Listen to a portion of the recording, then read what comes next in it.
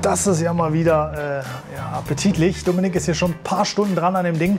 Und ich würde sagen, wir haben wieder mal eine schöne Höhle im Haus. Guckt mal rein.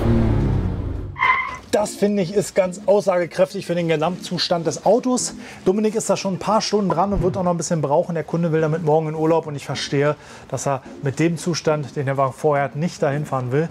Äh, ganz schön keimig das Ding, aber kommt gut voran, hat viele Flächen, Dampfreiniger. Von daher bin ich guter Dinge, dass das seinen Weg geht. Ich würde sagen, wir nehmen euch mit durch dieses ganze Auto einfach mal so einen Innenreinigung extremeren Fall, wie wir da vorgehen und wie wir auch das Ding hinbekommen. Ein gutes Konzept ist alles bei solch extrem verschmutzten und großen Autos. Man muss natürlich dazu sagen, jetzt ist hier kein keimiger Schmutz, sondern einfach Schmutz, der sich über die Jahre ansammelt, wenn man immer nur regelmäßig mal durchsaugt und irgendwie Staub wischt und der ganze Schmutz, den man von Wohnen in so einem Camper halt verursacht, nicht mal komplett weggemacht wird. Deswegen ist hier wirklich mal eine Grundreinigung nötig. Und da kann ich sagen, anderthalb Tage sind für so einen Innenraum mehr als normal, wenn man ihn wirklich, wirklich gut sauber machen will. Man sieht es allein an dem Boden, diese ganzen feinen Karos, da müssen wir überall rein. Aber bevor wir uns jetzt über Details Gedanken machen, fangen wir erstmal vorne an. Der Wagen ist zwar schon relativ gut gesaugt vom Eigentümer, aber wir saugen trotzdem nochmal die Ecken und Kanten durch, um wirklich den Schmutz überall rauszubekommen.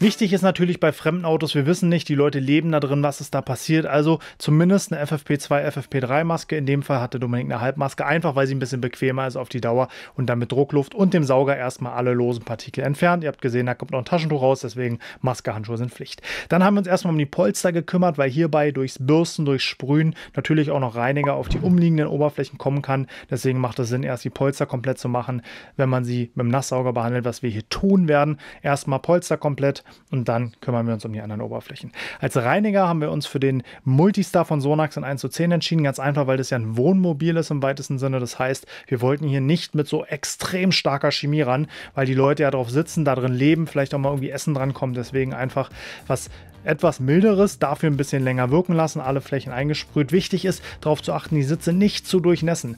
Wenn die Sitze wirklich komplett nass gesprüht werden, dass der Reiniger schon richtig runtertropft und man den am besten noch gleich rein massiert, dann haben wir das Problem, dass wir vielleicht die Polsterung nass machen und dass es zu Schimmelbildung kommen kann. Außerdem kriegen wir den Reiniger und den gelösten Schmutz nie wieder raus. Das heißt, einmal einsprühen und dann erstmal einen Moment wirken lassen, dass der Reiniger gar nicht so tief absinkt, sondern anfängt zu trocknen, bevor ich mit irgendwelchen weiteren Maßnahmen rangehe. Hier hat Dominik schon mit der Bürste erstmal den, die Armlehne bearbeitet. Das geht, da ist keine Polsterung. Ansonsten erstmal einen Moment wirken lassen und dann mit Dampf, Bürsten, Tuch, Schwemmen, was auch immer ihr wollt, bearbeiten, weil dann trocknet der Reiniger so leicht in der Oberfläche an, sinkt nicht zu tief ein, als wenn ich ihn jetzt gleich noch mit Bürsten und Co. in die Tiefe reindrücke. Das ist ganz, ganz wichtig. Also hier haben wir uns für einen Dampfreiniger entschieden, einfach weil der auch gut desinfiziert und dann anschließend den Reiniger super gründlich, bis kein Schaum mehr kommt sozusagen aus den Oberflächen raussaugen. Wir haben den Kercher Putzi genommen. Meiner Meinung nach der beste Waschsauger auf dem Markt. Kommt man auch nicht wirklich dran vorbei, wenn man wirklich einen gewerbetauglichen, sehr guten Waschsauger haben will. Ansonsten ist der Albatros, den wir auch jahrelang benutzt haben, für Hobby und Nebengewerbe ausreichend. Also wie gesagt, hier wirklich so lange saugen, bis kein Schaum mehr kommt.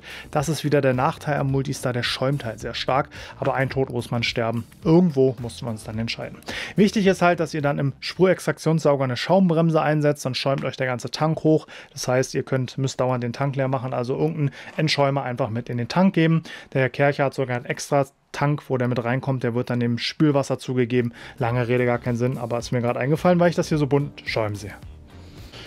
Ja, und dann ging es auch noch an die anderen Flächen. Wir haben bei so einem großen Auto, wo es ging, mit einer großen Akkubürste gearbeitet, einfach um ein bisschen Zeit zu sparen, um schneller voranzukommen. Aber es war natürlich nicht überall drin. Deswegen, je nach Material und ja, Geräumigkeit sozusagen, Erreichbarkeit der Oberfläche, haben wir auch kleine Pinsel, Scrub-Pads, Bürstchen, Schwämmchen genommen. Also alles, was man halt so zur Hand hat, um alle Oberflächen sauber zu halten. Das ist das Schöne an so einem, sag ich mal, relativ anspruchslosen Oberflächen wie diesem Kunststoff, dass man einfach sieht, vorher schmutzig, ich gehe rüber und wenn sauber ist, ist es sauber. Das heißt, da braucht man kein großes Geheimnis draus machen. Wir haben für den ganzen Wagen den Multistar weiterhin genommen, aufsprühen, einarbeiten, abwischen. Wenn es sauber ist, ist schön. Wenn nicht, das Ganze wiederholen, bis wir fertig sind. Wichtig ist, den Reiniger natürlich wieder gut mit dem gelösten Schmutz feucht abwischen, damit keine Reinigerreste auf der Oberfläche bleiben und die Ritze und Kanten vielleicht mit Druckluft durchpusten, damit der Reiniger eben da auch aus den Ecken raus ist.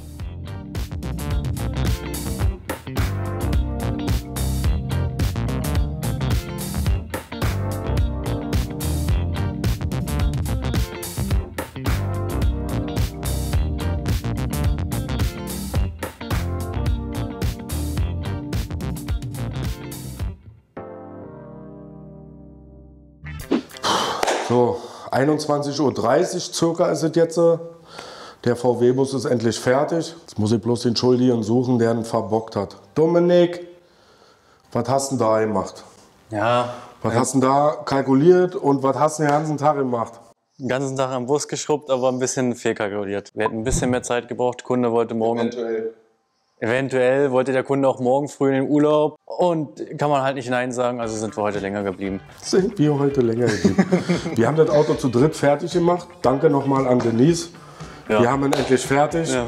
Abonniert den Kanal, drückt die Glocke. Ich mache jetzt endlich Feierabend. Wir sehen uns beim nächsten Mal. Bis später.